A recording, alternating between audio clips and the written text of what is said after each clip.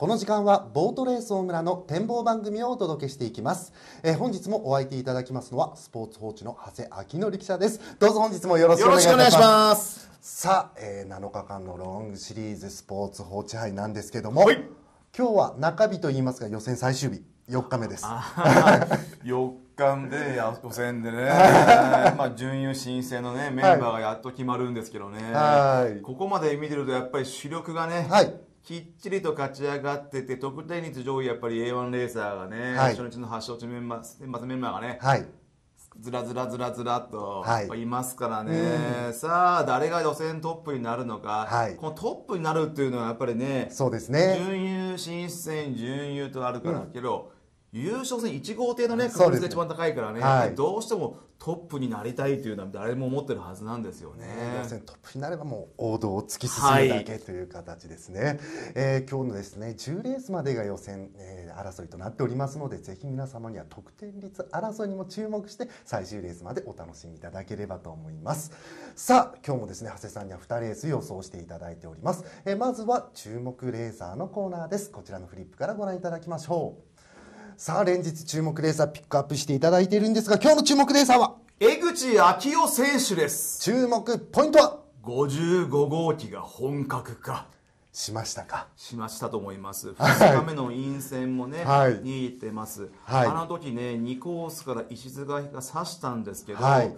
石塚聞いたら刺したと思ったけど江口さんが出ていったと言ってました、はい。で昨日はね、前付けから2コースに入っての2コース差し、はい。出足回り足にね上積みがありましたね、はい。最初は伸びだけだったんですけど、はい。今は全体的に良くなって本当に本格化してきたと思います。なるほど。もうその江口選手が1枠に構えるとなれば。もうドーンとですね、昨日ねまでがね得点率2位なんですね、はい。トップは萩原秀ですね、はい。萩原秀人がまあ今日ね前半7レースをまず走るんですよね、はい。ここがねよ彼にとってはね予選ラストで、はい。彼の成績次第にはよりますけど江口選手もね、はいもしかしたらトップを狙える位置ですね。にはい。なり可能性もある番組なんでね、はい。はいならばなおかつここ1号艇しっかり逃げてね、はい。えーもう上位で予選通過して、はい。まあ、今後にね向けてというふうになるんでね、はい。ここも侵入もね枠なり、まあ、江口さん相手にねインゼリする人もいませんからね、はい。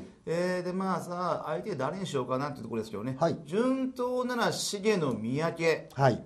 なのかなと。うん2号手好き柄はね、はい回り足出足は良くなっているけど伸びでやっぱり分が悪いんですよね。はい。そうなればまあか買い目は143と134の2点はい。からまあ1413からちょっと3着をね、はい。えーと薄めっていうか6と5を絡めてみようというようなフォーカスを出しました。はい。やはりもう G 争いはセンター勢の2手がそう三宅と重野は昨日もね12レースでもね、まあはい。走ってるんですけどね、はい。えー見た感じではね、三宅の方が昨日は良かったですけどね、はい。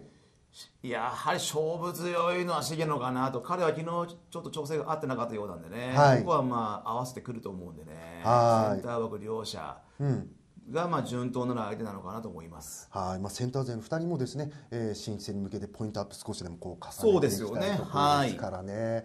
さあということで今日の注目レーサーは江口昭夫選手第10レースをピックアップいただきましてご覧のフォーカスを、えー紹介していただきました。ぜひ皆様も参考にしていただければと思います。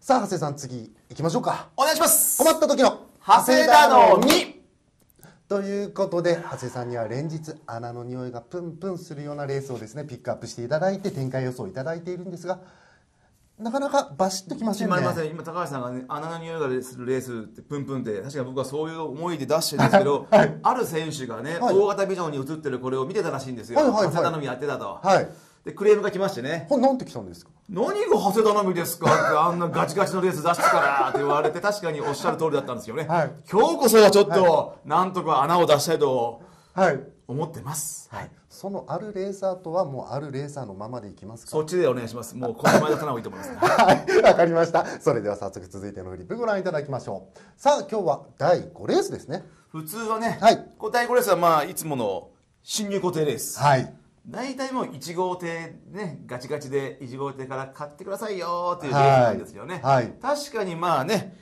1号艇に A1 増田刑事がですね、昨日もね6レースでしたね、はい。1号艇で逃げてまあ2日連続1号艇が回ってきてやはりね、はい。大村ナイターになってからはナイターになる時間帯ねはい。5時以降,、以降ね、はい。この5レース6レースの1号艇っていうのはもうしっかりした選手がいるんですよね、はいはいだからは普通はこれ増田なんですよ。そうですね。もうね昨日のパッと見た時点であこれはい。増田が逃げても相手も岡部でね、はい。14じゃないかと、いはいはい。そしてもう14からいけば4が、ね、岡部が伸びるんでね、はい。伸びていってくれてる伊藤誠二が出て145これ一発じゃないかと思ったんですけど、はいでもいやちょっと改めて冷静に見たんですよね、はいはい。ちょっと待てよと。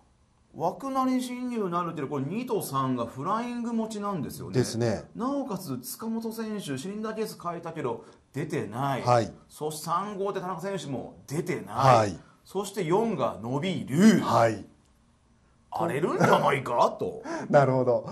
本線はまあ1からね、はい。145と154まあ抑えても146までかなと思ってこう本線ははい。出しますけど、はい。伸びる岡部がね、はい。まあ、準優新戦の勝負勝ち状況を見るとね、はい。増田はまあ無事故完走で OK、はい。で岡部もまあボーダーが微妙ですけどね。そうですね。まあ5点、まあ、超えそうなんですけど、まあ、後藤以外権力を取らなければいけるのかなと思うんですよ、それで伊藤がねちょっとボーダーが微妙でねですね。上がればね彼がね23着いるんですよね、はい。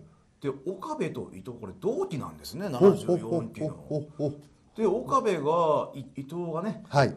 岡部俺もう勝負掛けなんだよ。的な雰囲気を醸し出せば、任しときな俺が言ってやるよというるほど。がこう同期愛じゃないのかなと。同気合がでっていうのが伊藤誠二がもはい。う自力でいける足がないんですよはい。ねうん。試運転をいろレース行ったらさっぱり昨日も道中ずるずるでしたからね。はい。でも岡部がぐっと言ってくれれば伊はい。藤にも展開があるので、まあ、はい。勝負掛けでね、はい。成功ということもあるので、はい。4がいっての、まあ、5と6がついてくると。はい。で,、まあ、で1が残してね、はい。ということで4の頭から156の23着はい。これだとちょっとは長谷頼み。はい。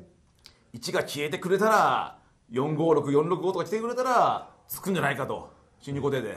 いやーもうじっくり話を聞くともうどこかの名探偵みたいな名推理です結構ねねこう推理はね抜群なんですよこう聞いてなんかお、はい。買ってみようかなと思うでしょ、はいもう本当洗脳されちゃうぐらいもう引き込まれましたよもう今今なんか電話してねなんはい。かこれ買っちゃおうかなと思うぐらい。なんか、はい。ぜひどうぞって。ねえ。鋭い分析力推理力。さあ蓋を開けたら結果はどうなるそのかというところなんですけども、ねある選手も見ててね、あ、長谷さんキックいいとこ来たなってはい。思ってるかもしれないし。ですね、はい。また選手に声かけられたら明日教えてくださ、はいい、わかりました。はい、ということで今日の困った時のか、えー長谷田宮ですね。第5レースをピックいた、えーピックアップいただきまして、えー狙い目では伸びる4号艇の岡部選手が要注目ですよというお話でした。ぜひ皆様も参考にしていただければと思います。さあ、えースポーツウォッチ杯7日間レースで今日は4日目予選最終日10レースまでが予選となっておりますのでぜひ皆さん得点率争いにも注目して最終レースまでお楽しみいただければと思います。ということで展望番組今日も長谷明則記者にお付き合いいただきました。どうもありがとうございました。